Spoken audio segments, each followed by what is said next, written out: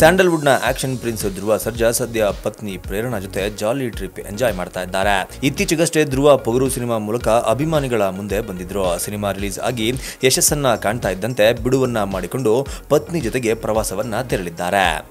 ಇತ್ತೀಚೆಗೆ ಸಿನಿ ಸೆಲೆಬ್ರಿಟಿಗಳು ಮಾಲ್ಡೀವ್ಸ್ ಗಳಿಗೆ ಪಯಣ ಬೆಳೆಸ್ತಾ ಇದ್ದಾರೆ. ಮಾಲ್ಡೀವ್ಸ್ ಸಿನಿಮಾ ತಾರೆಯರ ಸ್ವರ್ಗ ಅಂತಲೇ ಪ್ರಸಿದ್ಧಿಯಾಗಿದೆ. ಆದರೆ ಧ್ರುವ, ಸರ್ಜಾ ಮತ್ತು ಪತ್ನಿ ಪ್ರೇರಣಾ ಜಾಲಿ ಟ್ರಿಪ್ಗೆ ಆಯ್ಕೆ ಮಾಡಿಕೊಂಡಿರುವ ಸ್ಥಳ ಗೋವಾ.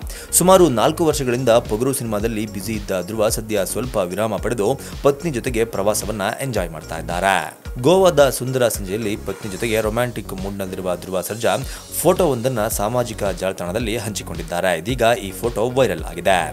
ಪತ್ನಿ ಪ್ರೇರಣಾ ಮಡಿಲಲ್ಲಿ ಧ್ರುವ ತಲೆ ಇಟ್ಟು ಮಲಗಿರುವ ಫೋಟೋ ಸಾಮಾಜಿಕ ಜಾಲತಾಣದಲ್ಲಿ ಹರಿದಾಡ್ತಾ ಇದೆ. ಅಂದಾಗೆ ಈ ಸುಂದರ ಫೋಟೋವನ್ನ ಪ್ರೇರಣಾ ಸಾಮಾಜಿಕ ಜಾಲತಾಣದಲ್ಲಿ ಹಂಚಿಕೊಂಡಿದ್ದಾರೆ. ಧ್ರುವ ಸರ್ಜಾ ದಂಪತಿಯ ಈ ಫೋಟೋಗೆ ಅಭಿಮಾನಿಗಳಿಂದ ಸಿಕ್ಕಾಪಟ್ಟೆ ಲೈಕ್ಸ್ ಮತ್ತು ಕಾಮೆಂಟ್ಗಳು ಹರಿದು ಬರ್ತಾ ಇದೆ. ಧ್ರುವ ಸರ್ಜಾ ದಂಪತಿ ಜೊತೆಗೆ ಧ್ರುವ ಗೆಳೆಯ ಅಲ್ಲೂರಗೂ ಕೂಡ ಗೋವಾ ಪ್ರವಾಸವನ್ನ ಕೈಗೊಂಡಿದ್ದಾರೆ.